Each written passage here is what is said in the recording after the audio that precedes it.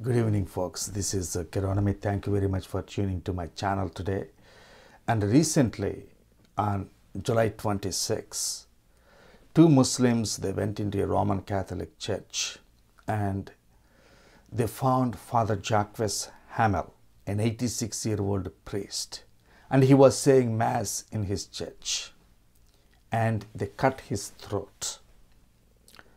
So, five days later, Pope Francis, he was on his plane returning from Rome, returning to Rome from Krakow, Poland. And uh, one of the journalists asked him, he asked him this question Catholics are a bit in shock, and not only in France, after the barbarous assassination of Father Jacques Hamel, as you know well, in his church while celebrating the Holy Mass. Four days ago, you here told us that all religions want peace. But this holy 86 year old priest was clearly killed in the name of Islam. So, Holy Father, I have two brief questions. Why do you, when you speak of these violent events, always speak of terrorists, but never of Islam, never use the word Islam? What concrete initiatives can you advise or suggest in order to counteract Islamic violence? Thank you, Holiness. Then the Pope Francis responded. He said these words I don't like to speak of Islamic violence because every day when I browse the newspapers, I see violence here in Italy. This one who has murdered his girlfriend, another who has murdered the mother in law, and these are baptized Catholics there are violent Catholics. If I speak of Islamic violence, I must speak of Catholic violence, the Pope of the Roman Catholic. End quote. So, this is very interesting, folks. The Pope does not want to talk about Islamic violence because what about all the violence Catholics did? What about this Catholic killing his girlfriend, this Catholic killing his friend? Sometimes they also go into history. What about all the uh, Spanish Inquisition that killed thousands of people? What about uh, the invasion of uh, native Indians in uh, South America and Mexico? And there are some comparisons here, and listen carefully. Number one, yes, there was violence done in Catholic, Catholic Church. For example, imagine 500 years ago when Mexicans were living in fear, when Incans and uh, also Aztecs, they were living in fear. Oh, these Catholics are coming from Spain. They are going to terrorize our people. They are going to kill us. They are going to pillage us. They are going to take our lands there was real Catholic terror 500 years ago. That's true. But you need to see the difference. What Catholics did to native Indians is radically contradictory to the teachings of Christ. That's very, very important. It is radically inconsistent with the message of the New Testament. But ISIS terrorists, for example, whenever they do terror, they are consistent with their religion. That's the very important difference. So the Pope is bringing this moral relativism, moral equivalence. And by doing that, he is doing a very mischief to 1 billion Catholics and also because he is head of the state millions of people are listening to him and he is blindly giving them false advice. That's very important to understand. Now, Catholicism is politicized Christianity. Jesus Christ, when he founded the religion of Christianity, he founded in very spiritual terms. That's another difference you need to see. For example, when Jesus stood before Pilate, who was going to execute him, Pilate, who was Roman prefect. At that time, he was ruling Judea, and Jesus was in his trial. And Jesus said, I am the king. And Pilate said, If you are king, where are your soldiers? Jesus says, Well, I am the king, but my kingdom is not of this world. If my kingdom is of this world, my soldiers would come and fight for me. But my kingdom is not of this world. So Jesus also spoke in military terms. But if you look at his message, it's a spiritual message. That's why Jesus never took a sword and killed people, never did any violence to any human beings. Even all the apostles, the 12 apostles, were martyred. They became martyrs. So Jesus gave that separation of church and state. He said, Render unto Caesar what is due for Caesar, render unto God what is due for God.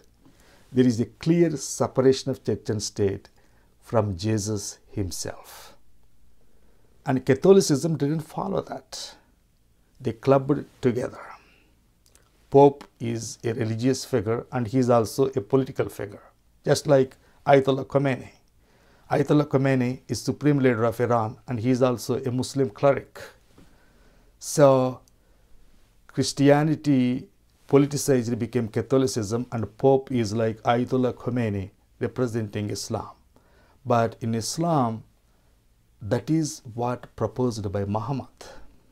Muhammad did not see the difference between church and the state. Muhammad said Caesar and God are one. That's why if you go to Saudi Arabia, religion plays a prominent role in bureaucracy, in constitution.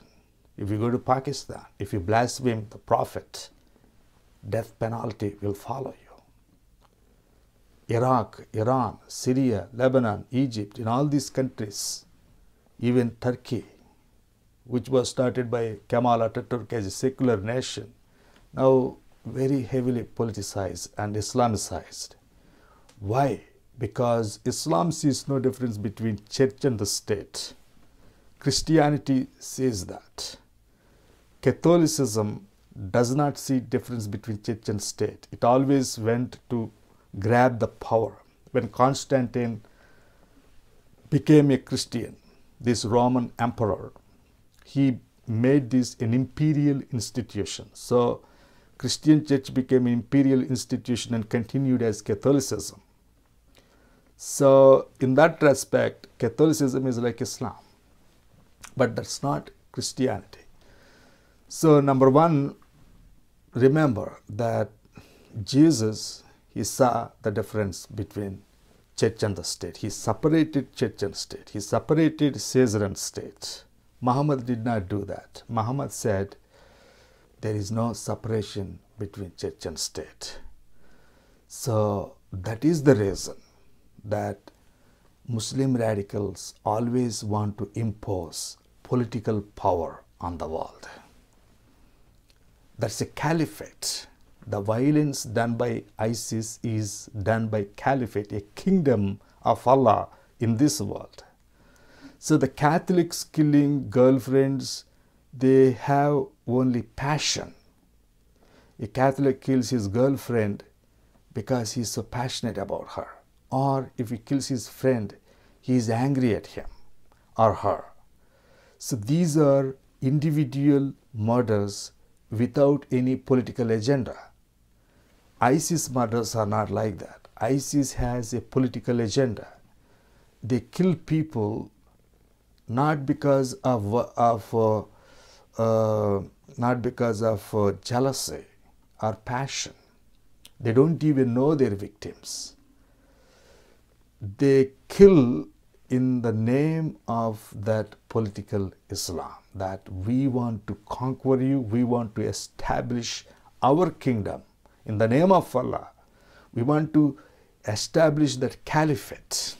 Caliphate was started by Muhammad and then his caliphs like uh, Abu Bakr, Umar, and Uthman, they were waging wars with Islamic armies and they established a caliphate. And then there were these Umayyads who ruled the caliphate with Damascus as the center. And then there was this Abbasid Empire that ruled the caliphate with Baghdad as the center. Then, then there are Mamluks in Cairo, and then there was a, these uh, uh, Ottomans with Constantinople as the center, and the Ottoman Empire that uh, ruled most of this uh, Asia, Middle East, and uh, almost to the Constantinople. So, what did Ottomans do? Ottomans did, they said this is caliphate. We are both political figures and religious figures, we are going to conquer the world. And they attacked Constantinople so many times, ultimately destroyed it in 1453 and made it as Istanbul. And they never stopped. They were attacking Vienna, they were attacking Spain and Europe, not only Europe, see Asia. They attacked Asia, Africa, all these countries to bring that caliphate. So you need to understand that caliphate is an entirely different concept. You don't bring that and compare that to some murders done by Catholics or Muslims or Hindus and say it's all the same. So this Pope Francis is becoming a useful idiot to these radicals, Muslim terrorists. And uh, he's talking like a complete idiot. I mean, I, I sometimes I, under, I don't understand why this idiot even became the Pope. So people should recognize that very, very well.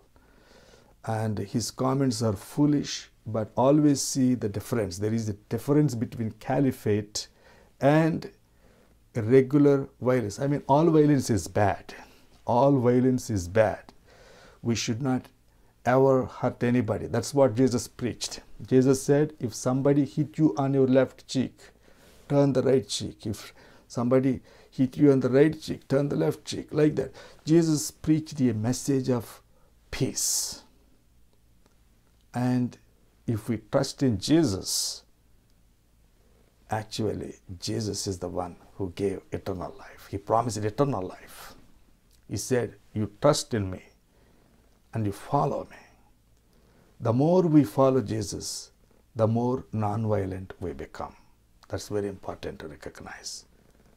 So when Pope compares these Catholics and this, that's very important.